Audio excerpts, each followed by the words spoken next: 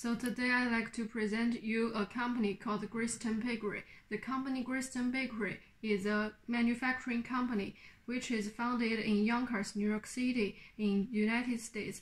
It is certificated as a B Corporation company since 2008 with the B Corporation score 137. The score is between 0 and 200, so it made a great progress. Certificated as a B Corporation was a new kind of business, business that balances uh, purpose and profit. And they are legally recognize the impact of their decisions on their customers, their workers, their suppliers, and also the environment.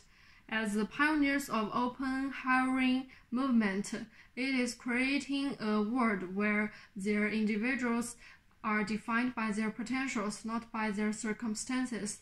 When you buy their brownies, uh, when you buy their brownies, you are drawing a million of others with their missions, and each delicious bite of their brownies contributes to a new, a brighter future for the Greyston's bakers and also a more equitable and exclusive world for all. And as a B Corporation company, they take the triple bottom line of people, planet, and profit seriously. So it is a good way for us to create a B Corporation company. And also it aims to help their workers to use business as a force for good, not just uh, using their hand for production. And also, the, the this company, as a food industry company, the waste is a problem for it. They probably have some products which are already passed by their selling by date. So it, the waste is a problem.